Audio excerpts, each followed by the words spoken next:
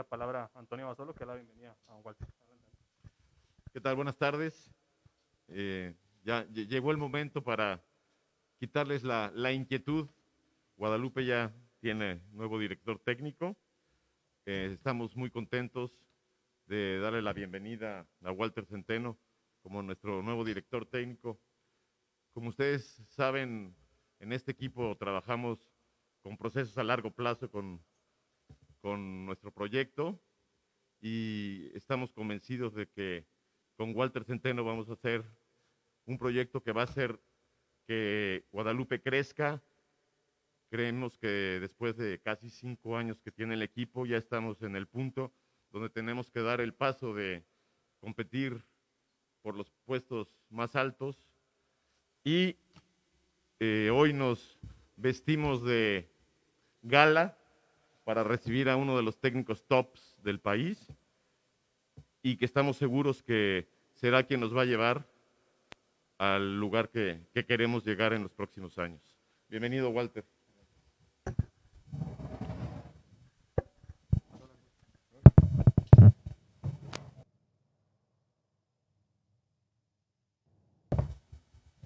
Bueno, igualmente, como lo acaba de decir don Antonio, este, la verdad es que muy contentos por tener a uno de los técnicos tops de este país. Eh, lo que acabamos de comprar, por decirlo así, es una idea y Walter se está casando con nuestro proyecto también. Entonces esperemos hacer esa eh, fusión entre las dos partes que nos, yo sé que nos va a llegar a, a muy largo y a muchos frutos que, que, es lo que queremos, ¿verdad? Con Walter y con el equipo. Muchas gracias. Vamos a, a proceder a la firma de, del contrato y después posteriormente vienen las preguntas de cada medio.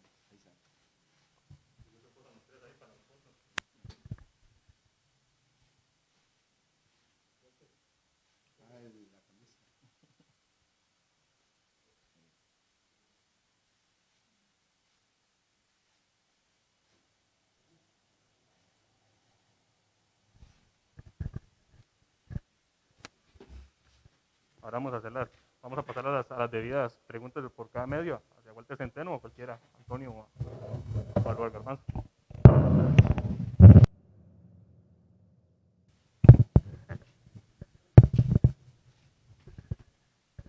¿Qué tal? Hola. Buenas, buenas tardes, Federico Calderón para Tigo Sports. Walter, ¿qué terminó de seducirlo para que para tomar este proyecto de Guadalupe y a don Antonio a Robert? Eh, ¿Por qué Walter Centeno y qué tan fácil fue poder convencerlo de que, de que formara parte del equipo de Guadalupe? Gracias. Pero primero que todo, buenos días a todos. Eh, darle gracias a Dios por esta oportunidad, siempre lo he dicho, Él maneja todo, así que todo está puesto en Él. ¿Qué me sacó de donde estaba? Bueno, eh, yo, yo diría que algo en común, ellos son el equipo que, que mejor ha, estado en procesos, el más serio, no ha cambiado tanto de entrenadores, han mantenido una línea en la cual le ha dado muchos réditos y tiene algo en común con lo que yo siempre quiero, siempre me gusta algo serio, algo que no sea momentáneo, algo que tenga bases sólidas, y yo creo que Guadalupe las tiene. Y a partir de ahora a mí me toca trabajar, tengo un, grupo de, jugadores que, que tienen una forma muy buena de, jugar y vengo nada más que a, tratar de, de, mejorarla, mejorarla para, el bien de Guadalupe, para el bien del, fútbol de, Costa Rica, porque uno de los equipos donde más jóvenes hay es Guadalupe. El país necesita un cambio, ¿verdad? Tal vez no se ha tomado la decisión creo que Guadalupe lo está haciendo una de una buena manera y esperemos trabajar primero, trabajar, trabajar, trabajar y después los frutos van a venir, ¿verdad? Pero bajo la línea del trabajo y del orden, de una, de una idea de juego, de una identidad y nada más, ¿verdad?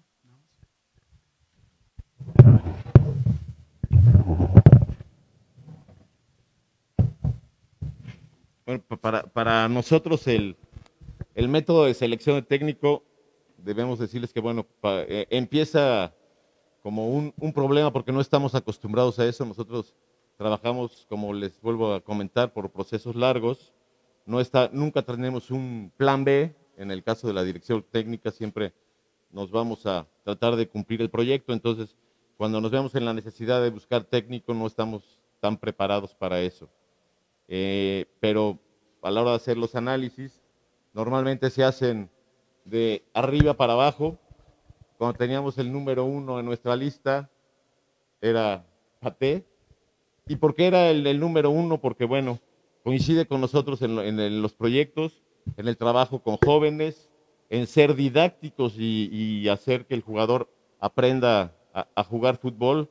Entonces, a la hora de palomear cada uno de los rubros que nosotros necesitábamos en el perfil del nuevo director técnico, en todos Walter se llevó la palomita. Tuvimos la oportunidad de hablar con él, de presentarle lo que es el proyecto de Guadalupe.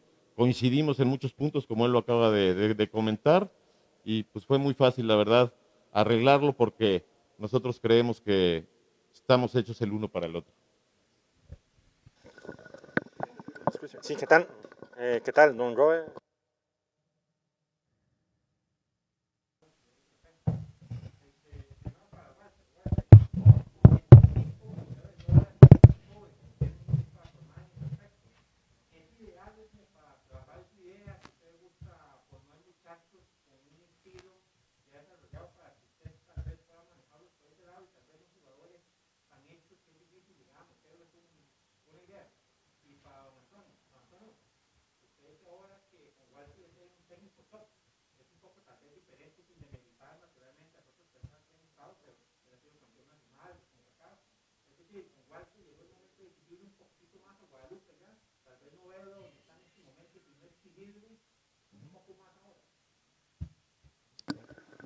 Bueno, yo creo que esa pregunta la he eh, dicho muchas, eh, la, la he respondido muchas veces, ¿verdad? Em, soy un entrenador de procesos, soy un entrenador que empezó de menos a más.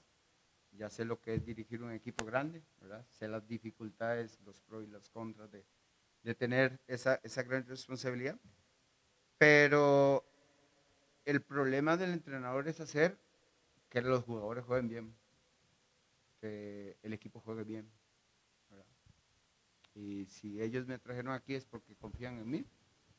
Yo soy consciente de que he madurado mucho como, como entrenador y me gustan los desafíos, me gustan las cosas, llamémoslas difíciles, ¿verdad? Y creo que Guadalupe va a ser un, equipo que, nos va a dar satisfacción primero a, la junta directiva, ¿verdad? Y posteriormente los, los jugadores. Me imagino que, todos estamos esperando el momento de entrenar y ustedes lo, lo verán, ustedes van a ser el juez, ustedes van a ser los que ya tienen una, una versión de lo, que, de lo que era Guadalupe, ¿verdad? Y esperemos cumplir las, las expectativas en, en esta nueva versión. Así que ustedes son los encargados de decir si, si hubo un cambio o no hubo un cambio.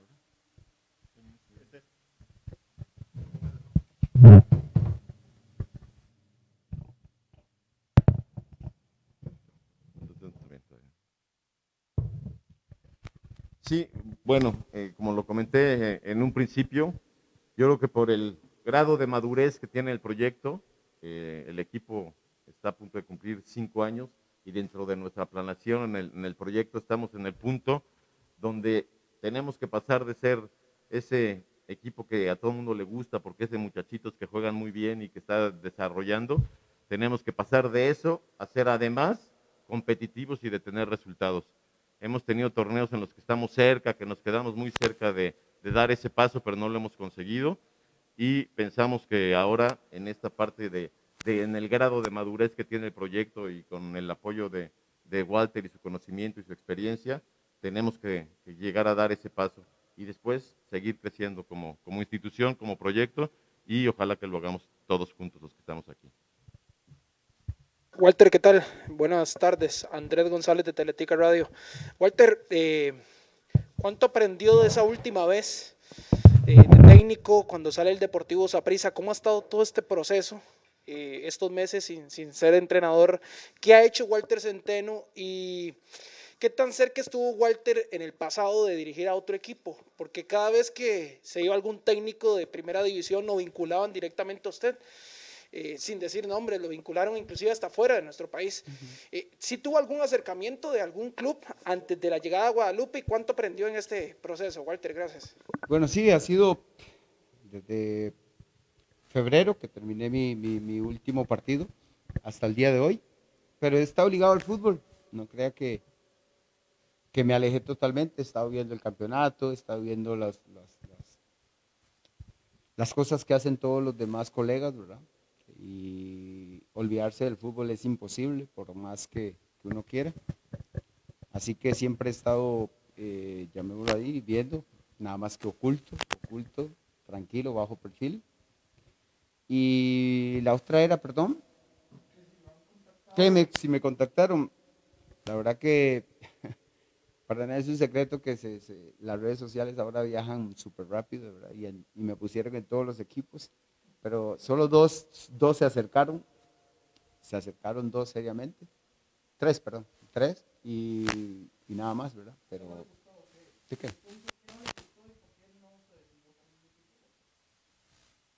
Porque no iban, no iban de la mano con lo que yo quería.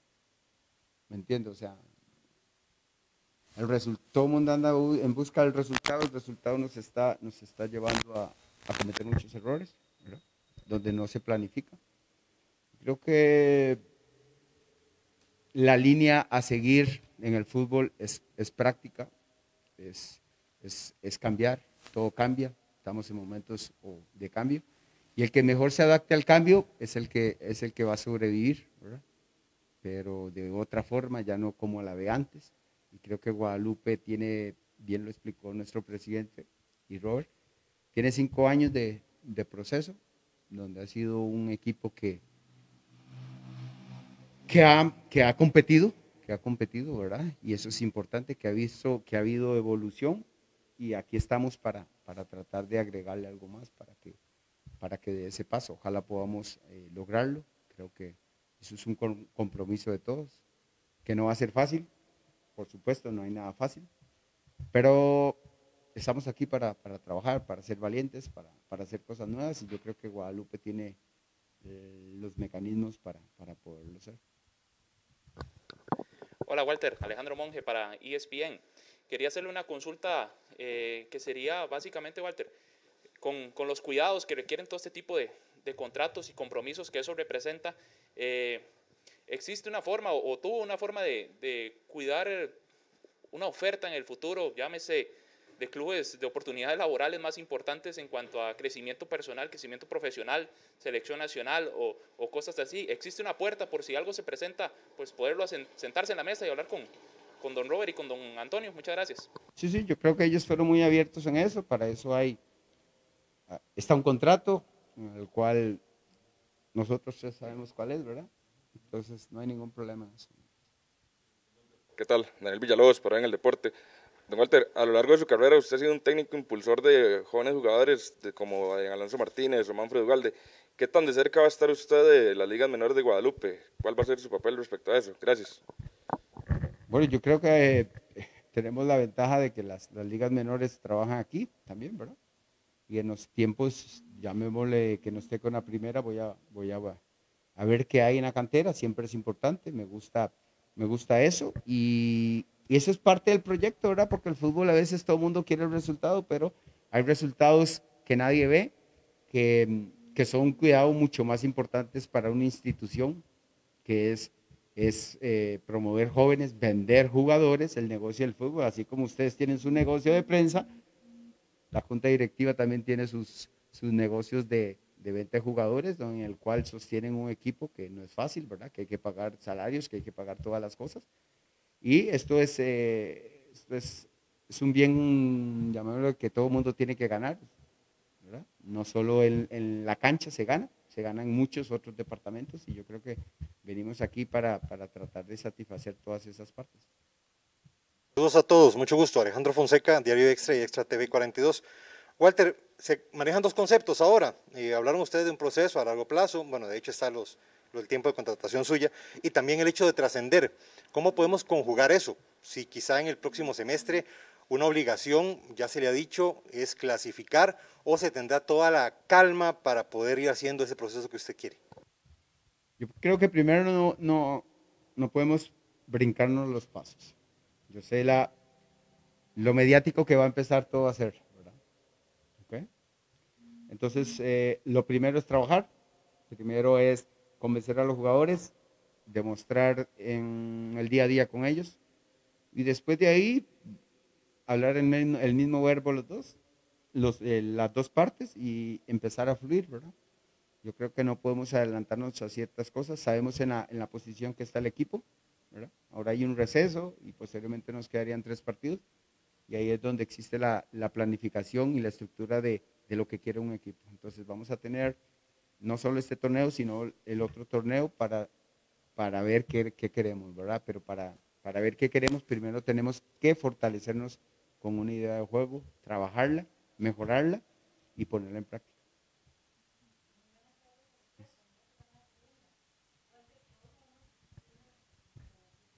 Implementar un proceso, un proyecto eh, en el fútbol nacional, ir aportando al fútbol nacional para que éste vaya evolucionando. Guadalupe, por la corta edad que tiene la planilla y porque pues eh, todavía en algunos casos de los jugadores falta mucho en el proceso de formación, es el equipo que se acopla perfecto para lo que usted quiere implementar, ir aportando para el fútbol nacional. Y lo otro, este parón, ¿qué tanto le beneficia, qué tanto pueden agarrar los jugadores su idea en estas tres semanas de parón? Pues yo creo que sí, Guadalupe, para, si usted pregunta aquí en la prensa, eh, siempre habla bien de Guadalupe, de los jóvenes, del proyecto, entonces yo creo que en eso no hay, no hay, no, no hay la, la, la, mayor duda posible. Y las tres semanas caen a la perfección, ¿verdad? Felicitar al que la, al que la propuso porque tiene algunos intereses ahí, ¿verdad? Pero, pero bienvenida sea, me cae en una buena etapa de, volver a la cancha. Dios sabe por qué hace las cosas, Dios, Dios cuida siempre a los hijos de él.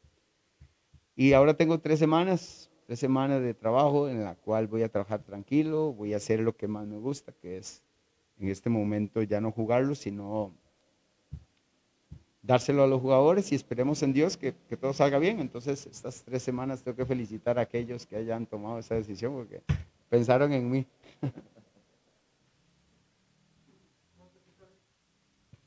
¿Qué tal? Juan Diego Villarreal de la Nación. Me llama mucho la, eh, atención el hecho que usted habla mucho del cambio, de, empezar un cambio, de, generar un cambio en el fútbol nacional. Me llama mucho la atención. ¿Siente que el cambio se tiene que hacer ahora por lo que muestra la selección, por lo, el poco aporte de los jóvenes a la selección? Eh, ¿Siente que por ahí tiene que ir el cambio? ¿O, es un cambio más allá de lo, de lo que uno puede percibir en el fútbol nacional? Gracias.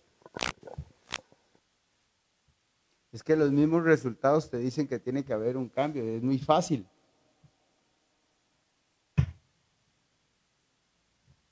Los mismos resultados te dan la respuesta. Tiene que haber un cambio y si no hay cambio, ¿qué pasará en cuatro años? Ustedes mismos lo saben. Ustedes mismos son los encargados de dar el cambio. Ustedes piden cambios ustedes mismos, ustedes tienen el poder de convencimiento. Y la gente que está al mando tiene que tomar riesgos, tiene que tomar, tiene que ser valiente, tiene que olvidarse. La prensa, la afición, todo el mundo quiere cambio, entonces complazcamos a la gente. ¿Usted qué dice? Hacerle la pregunta a usted y luego se la respondo yo. ¿Usted cree que Costa Rica necesita un cambio con jugadores jóvenes? Puesto. Somos dos. Tres. Cuatro. Walter, ¿y cómo se hace ese cambio? Como tal, porque ahorita mucho, muchos dicen que, que los jóvenes, o sea, no digo que es mi criterio, es lo que se dice casi a criterio popular, que los jóvenes no han levantado la mano o no tienen el peso que, que tienen los más experimentados. Incluso Jafet Soto el viernes estaba en, en nuestro noticiero y dice que no podemos esperar que, que, alguien tome el papel que tiene Brian ahorita porque Brian también tuvo su, su, su chance en, en tener esa, ese liderazgo y demás. ¿Cómo usted hace ese cambio como tal?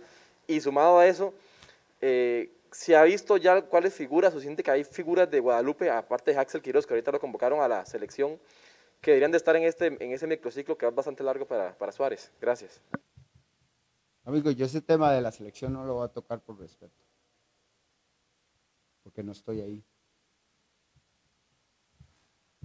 Podría darte mi opinión, pero como no va a ser tomada en cuenta, de nada sirve. Entonces no te voy a hablar de algo que nadie me va a hacer caso. Entonces hay que dejar créditos a los que más saben, en, el, en la gente que está en la federación. No me toca a mí. Si usted después quiere hacerme una entrevista personal, sin micrófono, yo les respondo. ¿verdad? Pero no voy a hablar de ningún exjugador, porque yo lo fui. Ni de ningún jugador actual, ni joven ni viejo. Ustedes sabrán. Yo estoy ahora en Guadalupe, quiero, quiero, estoy en el, en el, en el, en el proyecto este con jóvenes. ¿Verdad? Entonces, estoy enfocado en esto. En, en, dos años vamos a ver cuáles jugadores van a ver, cuáles están vigentes. Pero no me toca a mí porque yo no soy el entrenador de la selección, no me toca tomar una decisión, a mí me toca tomar una decisión de Guadalupe. Vamos a jugar con jóvenes, vamos a jugar con jóvenes. ¿Qué riesgos? Claro, la vida tiene riesgos. Si usted juega con viejos o juega con jóvenes, tiene riesgos. ¿Cuál le sirve a usted más? Usted escoge. Entonces nosotros estamos claros de lo que queremos. Entonces lo que, lo que está fuera de Guadalupe, selección XX, no es problema mío. Don Antonio, y Walter también retomando un poco. A ver, Guadalupe tiene jóvenes muy interesantes, de mucha capacidad, que son figuras en el torneo nacional, está Reiner Rojas, hay varios, que siempre dicen, es que en un equipo grande es que tal vez ya se aprisan detrás de él, Herediano, la liga detrás de él, para que ese proyecto que quiere Walter, para eso es, muy importante mantener a estos muchachos, a estos jóvenes, tal vez no sucede en otros momentos que Guadalupe tiene un, joven bueno, un muchacho que promete y de repente llega un equipo grande y se lo lleva, porque si la idea de ustedes es dar un salto de calidad, entonces, bueno, me imagino que eso va a ser uno de los puntos que más van a tener que resguardar. Eso puede una ahorita otra vuelta. Sí, sí, claro. Eh, efectivamente, para, para nosotros y desde nuestro punto de vista, nosotros tenemos a los 24 mejores jóvenes que juegan en el fútbol de Costa Rica.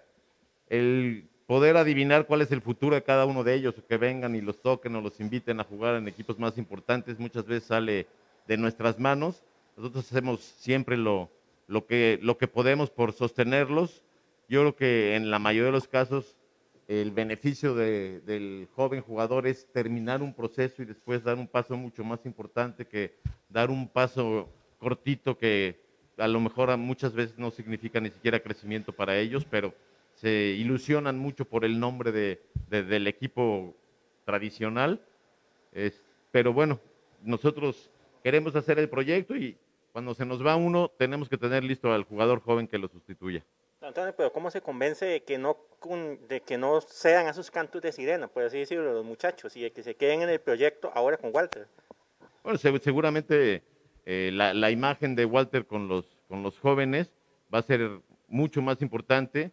Van a ver en él una, una figura y van a ver en él además un maestro. Entonces, es, es, es probable que, que, eso los arraigue un poco más al equipo. La última para usted, lo que va a ser la próxima temporada, lo que va a ser el próximo torneo, eh, el tema de, de, fichajes, tal vez de refuerzos, es algo que usted va a analizar o considera lo, lo, ideal es mantenerse con esta base de jóvenes o si cree que es necesario como hacer ajustes a la planilla. Bueno, ahora tenemos que trabajar dos meses, ¿verdad? Del mes de noviembre, el mes de diciembre, conscientes de eso.